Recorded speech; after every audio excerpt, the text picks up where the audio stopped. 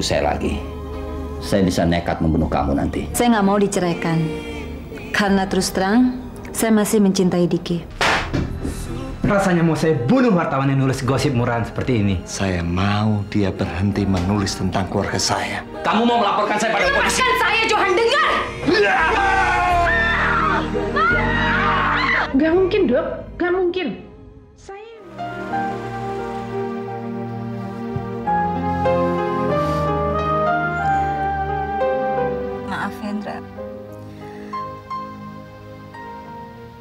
Saya jadi ganggu acara kamu.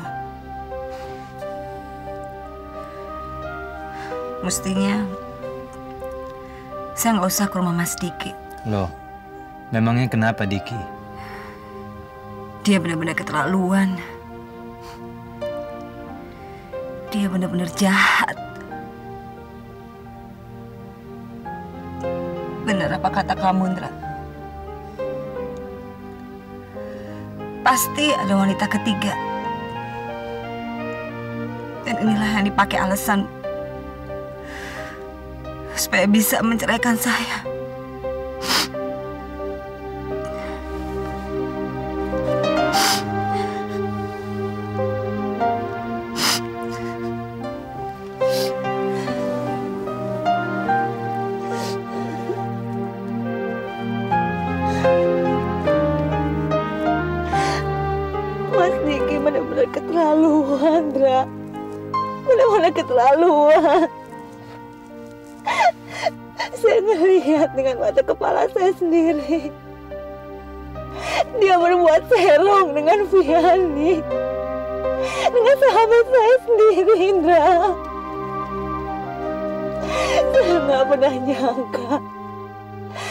Suami saya sendiri bisa berbuat kayak gitu.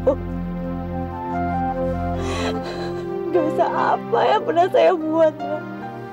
Apa dosa saya, Dra? Bella, tenang. Nggak baik untuk janin dalam kandungan kamu. Udah ya, kamu istirahat aja. Besok kita bicara lagi cari jalan keluarnya.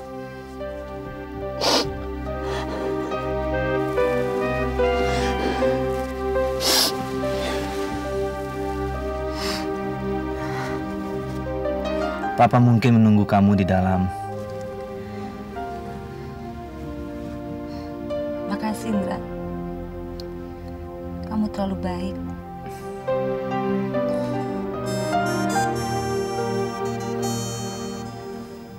Bella, dari mana kamu? Subuh baru pulang.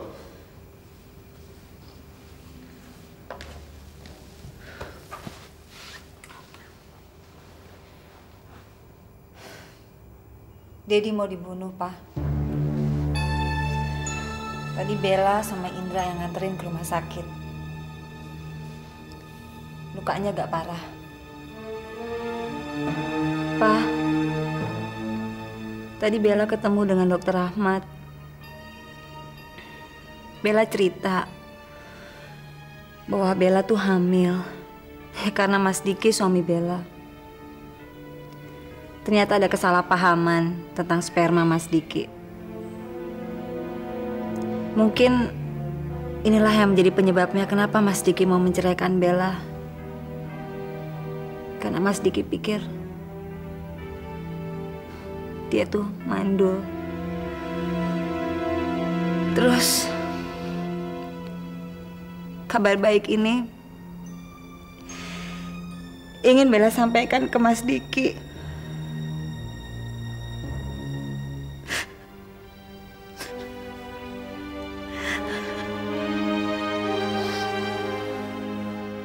Kenapa kamu Bella? Mas Diki, Pak. Mas Diki. Berbuat serong dengan sahabat baik Bella, Pak. Bella merasa nanti, Pak. Kurang ajar dia. Masih ada yang dendam di antara musuh-musuh papa. Jadi yang selama ini melindungi kita justru jadi sasaran utamanya. sebelum menghancurkan kita. Papa nggak tahu apa mamamu terlibat atau tidak. Buktinya sampai sekarang dia tidak pulang.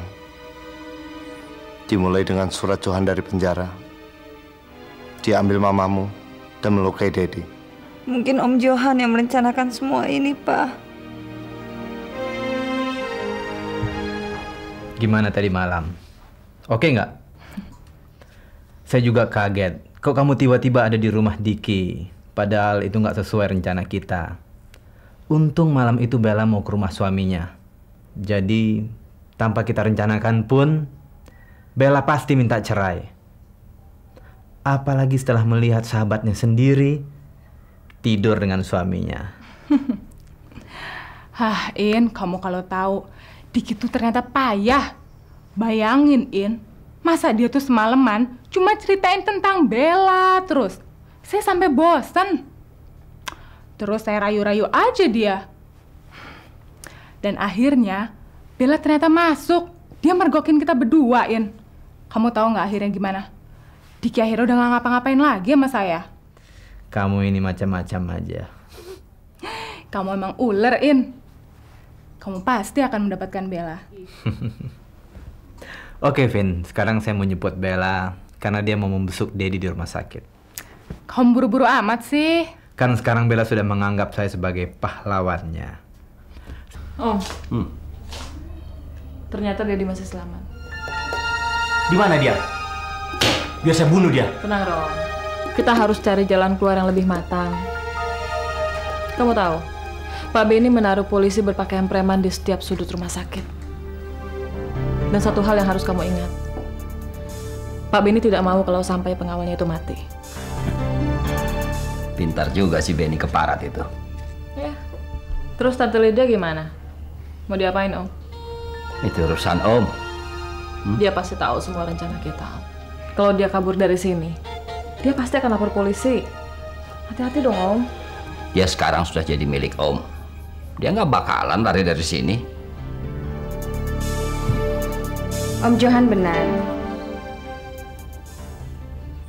Saya akan tinggal di sini dan saya sudah tahu apa yang kalian lakukan. Saya akan bergabung dengan kalian demi untuk menghancurkan Benny.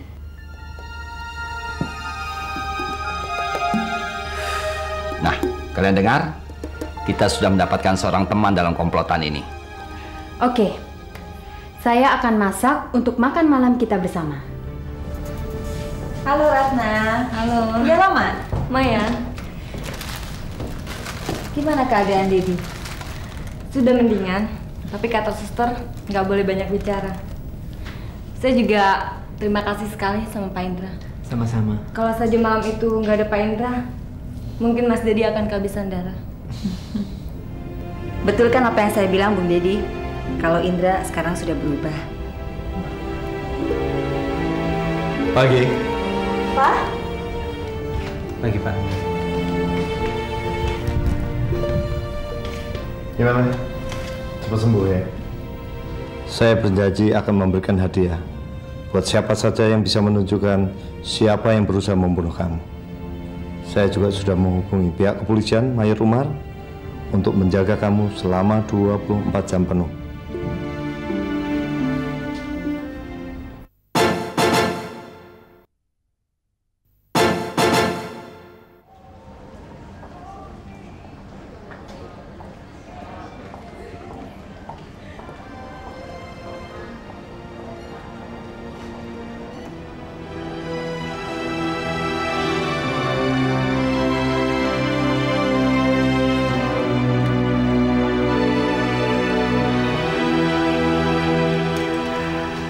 Bapak sudah bisa pulang.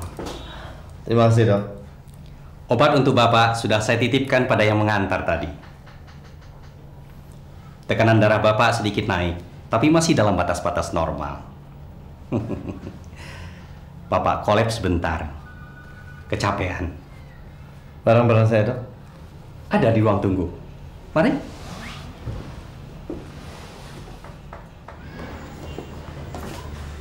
Itu yang mengantar Bapak tadi. Ya, silakan.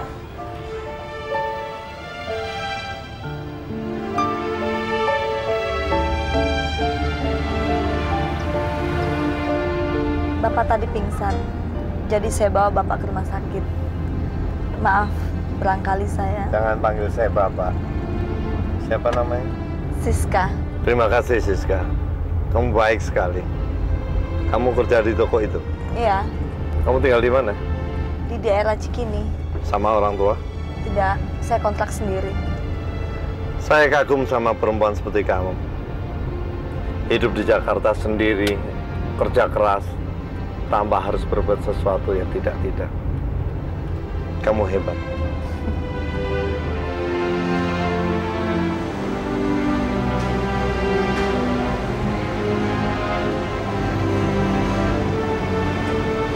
Terima kasih sekali ya, Sis. Kembali mas, mari mas saya mau kerja lagi. Sebentar, Sis. Mau nanti temani saya makan malam. Terima kasih mas, saya malu kalau Siska, saya kagum sama kepribadian kamu. Jangan tolak ajakan saya. Saya tunggu jam 9 di sini.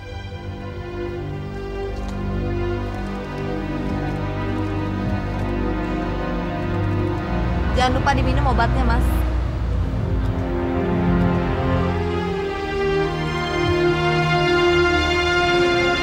Pak Indra yang memberikan rekomendasi tentang Anda. Katanya Anda adalah seorang pengacara yang terbaik untuk menyelesaikan masalah perceraian. Terima kasih. Tapi saya kira Pak Indra terlalu membesar-besarkan saya. Terus terang Ibu Bella, saya sendiri sedih dengan profesi saya ini. Bayangkan, berapa ratus orang yang minta cerai setiap tahun. Dan itu harus saya laksanakan.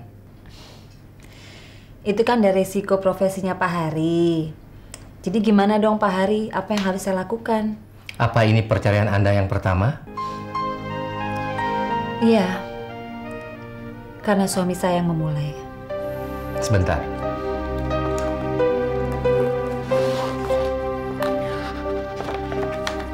Tolong Ibu Bella tanda tangani surat ini dan saya akan mengurusnya nanti.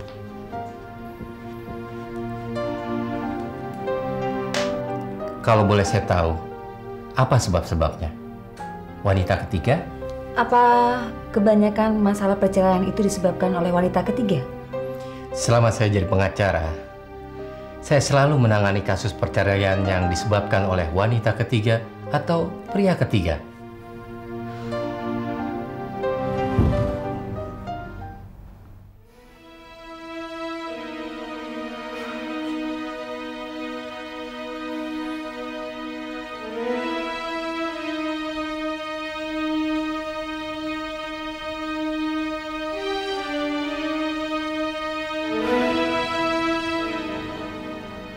Saya nggak akan pernah berhenti mencintai kamu, Bella.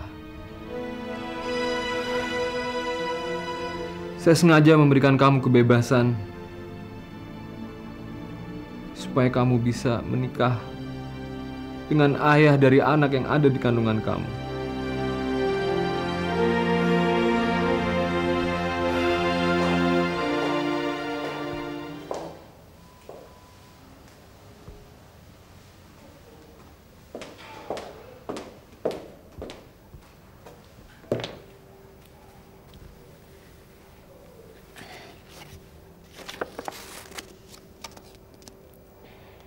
Bella sayang, cuma ini yang bisa papa berikan untuk membahagiakan kamu.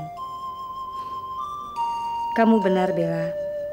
Sejak mama kamu pergi, kepercayaan diri papa hilang.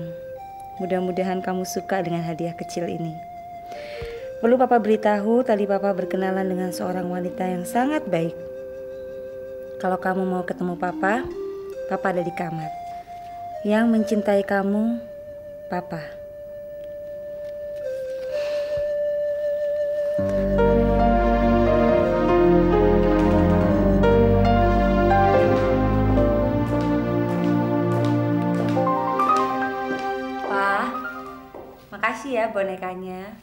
Bagus banget. Bella suka sekali. Papa sengaja beli untuk kamu, supaya kamu senang. Sama seperti waktu kecil.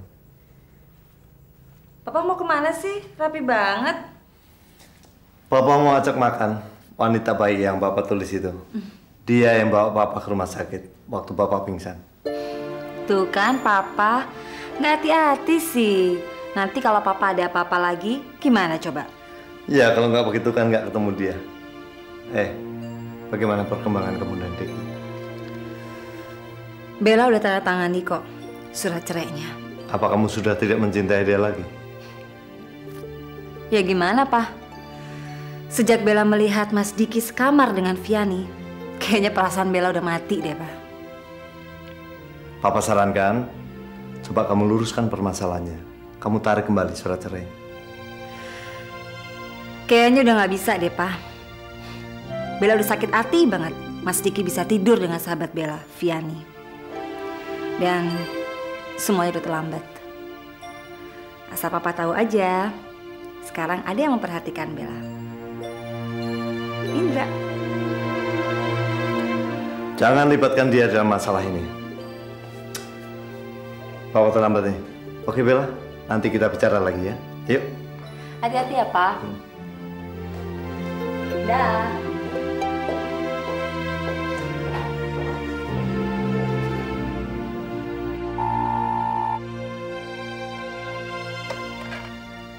Halo, Bella, sedang ngapain kamu? lagi nggak ngapa-ngapain. Cuma agak sedikit capek aja. Jangan terlalu banyak pikiran dong, Bel. Ingat, kamu tuh sedang hamil. Bisa kan kita sering bantu? Iya deh, In. 10 menit lagi saya akan ke rumah kamu. Oke, makasih Andra. Dah.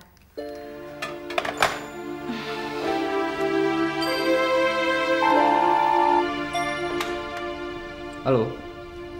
Eh, Viani. Gimana? Apa kabar nih? Loh, Mas, kok suara kamu serak sih? Kamu sakit ya?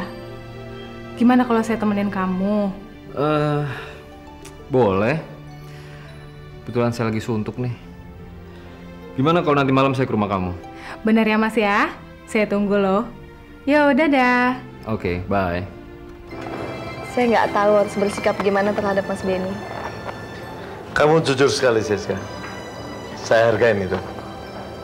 Bersikap apa adanya. Mudah-mudahan saya nggak bikin malu Mas Benny. Saya berasal dari kampung, Mas. Sepertinya saya bermimpi ketemu Mas Benny. Diajak makan lagi.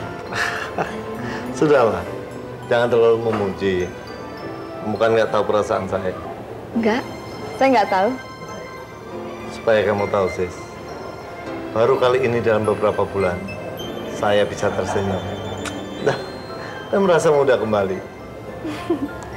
Mas Benny bisa aja. Benar, serius, Sis. Ah, Siska, kalau boleh saya tahu, apa kamu pernah berkeluarga?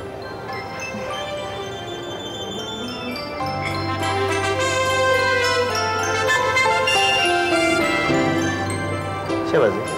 Enggak, Mas. Saya kira teman saya. Saya pernah berkeluarga. Tapi suami saya udah nggak ada. Kami nggak punya anak. Sorry. Saatnya kita makan. Pak.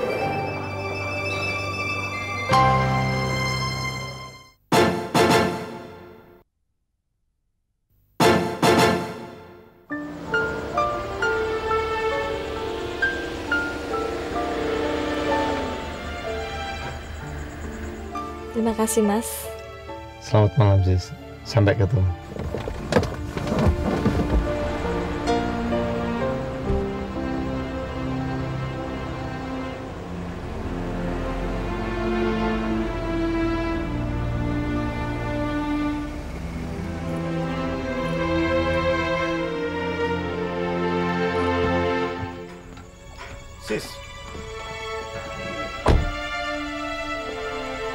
Kenapa sih Pak Rudi selalu mengikuti saya?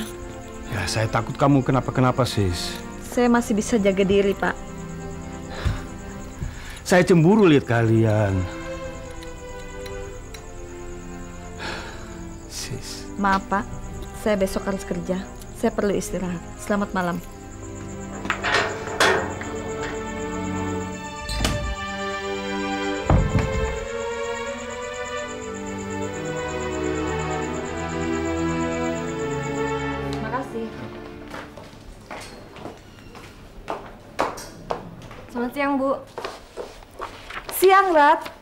Kabar kamu? Gimana, Dedi? Baik? Baik, Bu. Dalam beberapa hari ini, dia akan sembuh. Jadi kamu tinggalin Dedi sendirian di rumah? Iya. Dia kok yang masuk saya masuk kerja. Supaya saya bisa ngeliat suasana baru. Bosan terus-menerus di rumah sakit. Dedi betul. Dan sekarang, saya mau kamu mengadakan promosi di beberapa negara Asia untuk menggantikan saya. Karena kamu tahu kan, Rat, saya nggak bisa mengadakan perjalanan jauh-jauh sekarang. Dan saya lagi sibuk untuk mengurus perceraian saya dengan Mas Diki. Ibu mau cerai? Iya. Kamu ikut saya deh, Rat. Nanti saya ceritain semuanya, ya.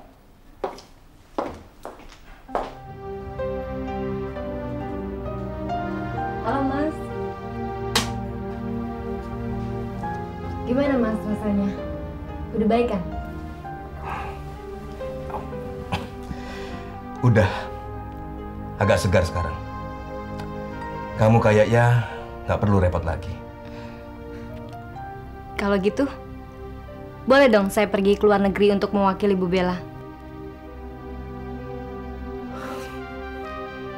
Bella memberikan kepercayaan sama kamu. Jangan lewatkan kesempatan ini, Ratna. Terima kasih, Mas. Karena Mas ngerti. Sial! Dedi sudah kembali ke rumahnya. Dan Ratna bersamanya. Vera, Robert, yuk ikut saya. Kita bunuh Dedi malam ini. Hei, dengar nggak apa yang saya bilang? Tolong kamu, ngomong apa kamu ini? Kamu teriak-teriak, gila? Hah? Supaya kamu tahu, Dedi dibiarkan pulang. Rata kembali bekerja meninggalkan Dedi sendirian. Nah, kalau kita melakukan sesuatu, kita akan terperangkap. Apa kamu nggak baca kalau ini jebakan? Saya nggak percaya. Sejak Tante Lydia kemari, Om John jadi pengecut. Gara-gara dia, Om John lupa dengan musuh-musuh Om. Sebenarnya Om nggak punya niat untuk bergabung dengan kami. Sekarang setelah Om dapatkan yang Om mau, Om lupakan kami. Om hanya mementingkan diri sendiri. Hah, persetan dengan dendam. Jangan bawa-bawa Lydia ke dalam masalah ini. Sebelum Benny mati, dan saya tidak akan melupakan rencana ini. Oke, oke. Kalau kalian nggak mau ikut saya, biar saya pergi sendiri. Kamu jangan bunuh diri pakai ini. Hah? Kalau kamu tertangkap, polisi akan memaksa kamu bicara. Dan dengan satu pukulan, mereka akan membongkar semua rahasia kita. Sabar kamu, Roni.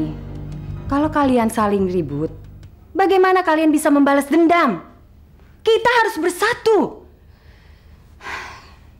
Ingat, ini menyangkut nyawa manusia dan enggak main-main. Dengar, saya harus menghancurkan Benny yang sudah menghina saya. Pertama Dedi yang harus kita habisi. Kalian semua sudah salah langkah. Dan ini adalah kesempatan yang terakhir.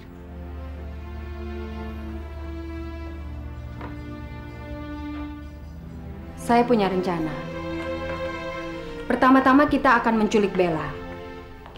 Bella sedang hamil, itu berarti Bella sedang mengandung cucu pertama dari Benny. Ancam Bella supaya Benny takut.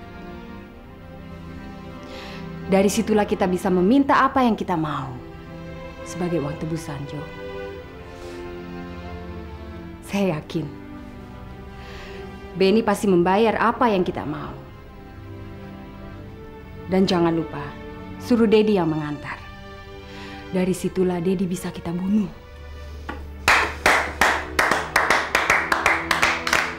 Dahsyat, luar biasa. Ternyata kamu jenius, Lydia.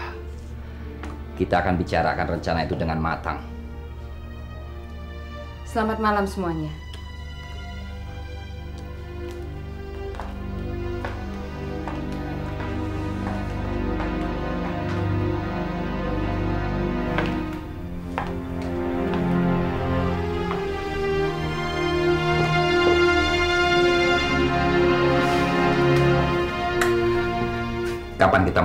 Rencana kita? Nanti kalau luka saya sembuh, saya kan nggak bisa keluar, saya nggak bisa cari dokter.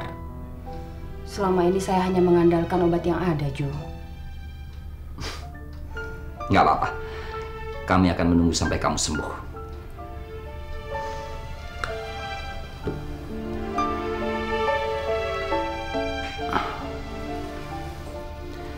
Saya kangen sekali sama kamu.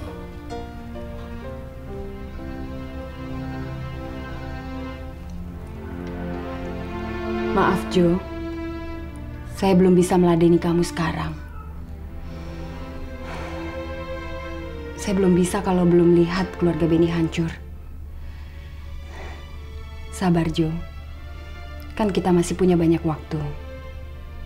Yang penting sekarang kita harus memusatkan pikiran kita kepada keluarga Beni.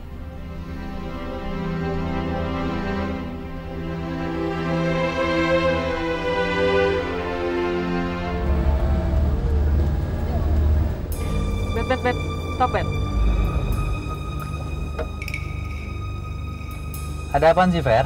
Bet, kamu lihat itu siapa yang keluar dari restoran, Bet? Itu kan Om Benny sama ibu tiri kamu, Bet.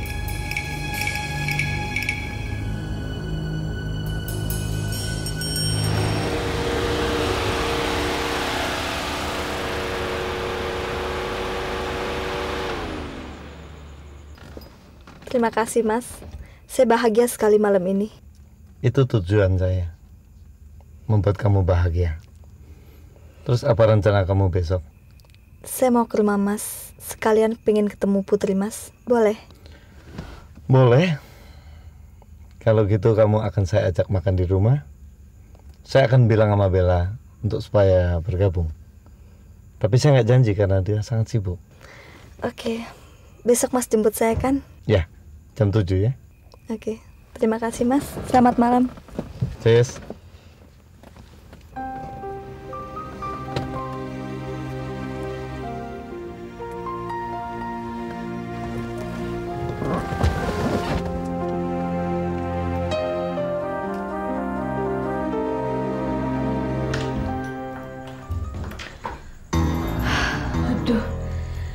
Dibikin kaget saja. Dari mana Bapak masuk? Masa kamu lupa? Kunci rumah ini juga saya pegang. Dulu kamu nggak pernah kaget kalau saya masuk diam-diam saja. Iya, tapi sekarang lain, Pak. Iya, memang lain. Dulu kamu nggak punya rumah, nggak kerja. Saya yang menyelamatin kamu. Eh, Maaf, Pak. Sudah malam. Tinggalkan saya sendiri. jangan begitu, sis. Saya menyukai kamu. Saya ingin menikah dengan kamu. Enggak, Pak. Saya mencintai Benny. Kamu jangan mimpi, Siska. Kamu mikir akibatnya kalau si Benny tahu kamu seorang janda. Dan apalagi bekas suamimu adalah seorang pembunuh bayaran namanya Martin. Pak, Pak Rudi. Saya tahu siapa namanya Martin. Dia adalah orang yang ingin membunuh seluruh keluarga Benny pada malam pesta perkawinan itu. Selamat malam.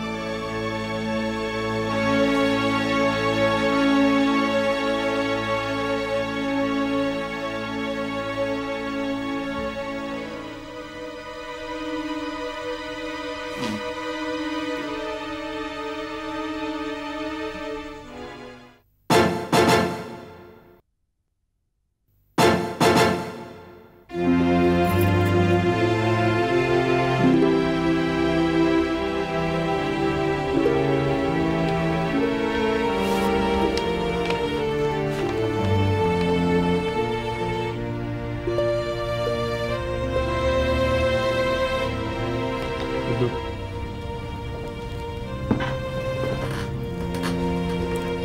Kamu mau berhenti kerja?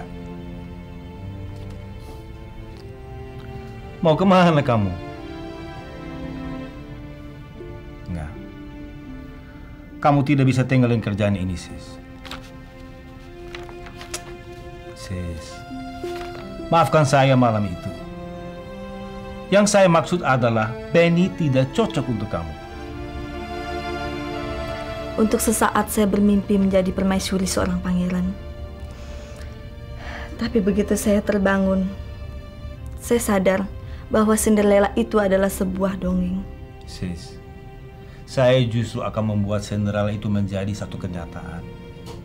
Saya tidak peduli siapa atau apa bekas suami. Maaf Pak Rudi, Bapak memang baik pada saya. Bapak telah selamatkan saya dari kehancuran. Tapi saya nggak bisa balas kebaikan Bapak dengan mencintai Bapak. Kamu tidak kasihan. Saya masih sendiri, tidak punya istri. Tidak ada yang bisa merawat saya. Saya cuma minta kamu bisa temani saya pada saat saya lagi kesepian. Maaf Pak, saya harus pergi. Saya salah kalau saya nggak pamit sama Bapak yang selama ini baik sama saya. Saya mohon maaf atas segala kesalahan saya yang menyebabkan Bapak sakit hati. Saya doakan semoga Bapak sukses dan berhasil.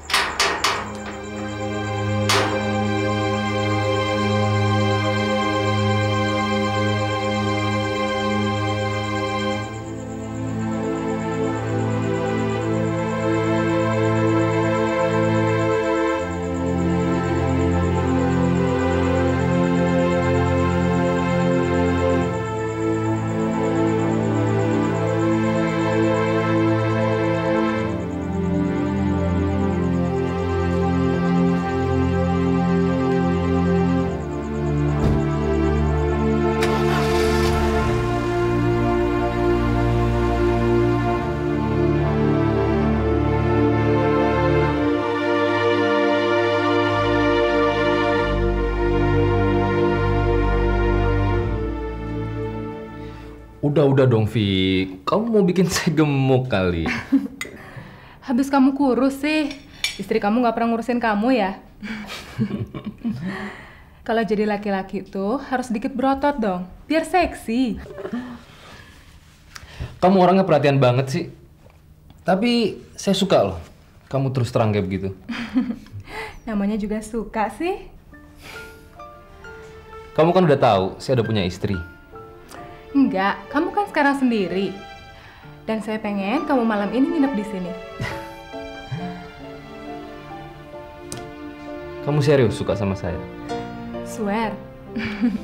Dari pertama saya lihat kamu, saya tuh udah jatuh cinta sama kamu.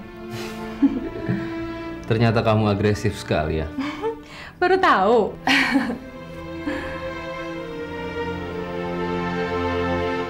Pak, Loh, Mbak Siska mana? Rumahnya terkunci. Dia nggak pesan apa-apa. Udah deh Pak, mungkin Mbak Siska sibuk, jadinya lupa dia makan malam sama kita. Sekarang kita makan malam aja yuk, ntar Papa sakit lagi. Kalian makan dulu. Papa mau istirahat.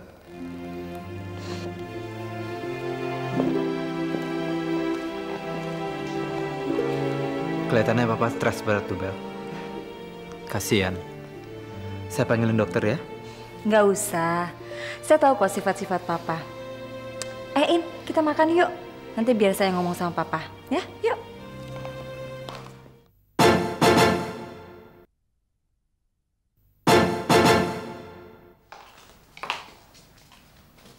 Minum dulu, Pak.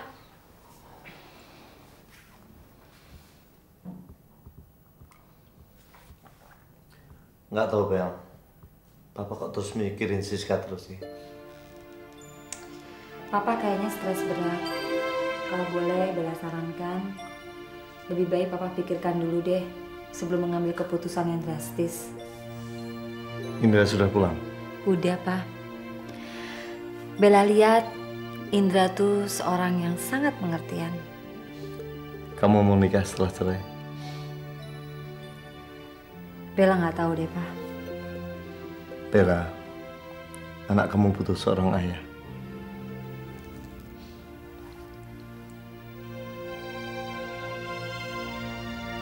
Bella tahu itu.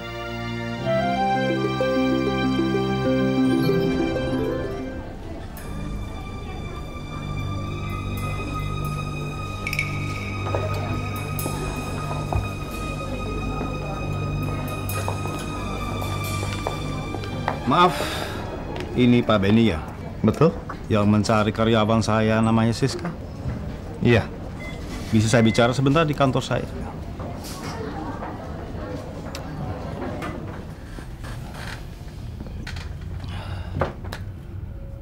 Silakan mau minum apa? Terima kasih.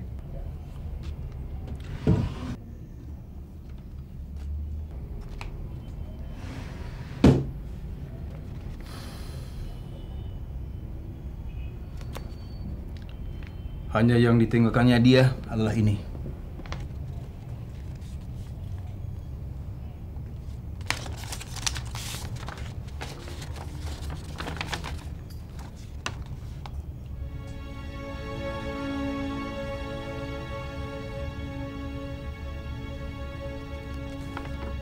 Kenapa dia pergi begitu mendadak? Maaf Pak Beni. Saya ikut campur dengan urusan Bapak berdua. Tapi sebenarnya Siska adalah seorang janda. Suaminya sudah meninggal waktu di penjara karena luka bakar. Dia adalah seorang pembunuh bayaran. Namanya Martin. Siska?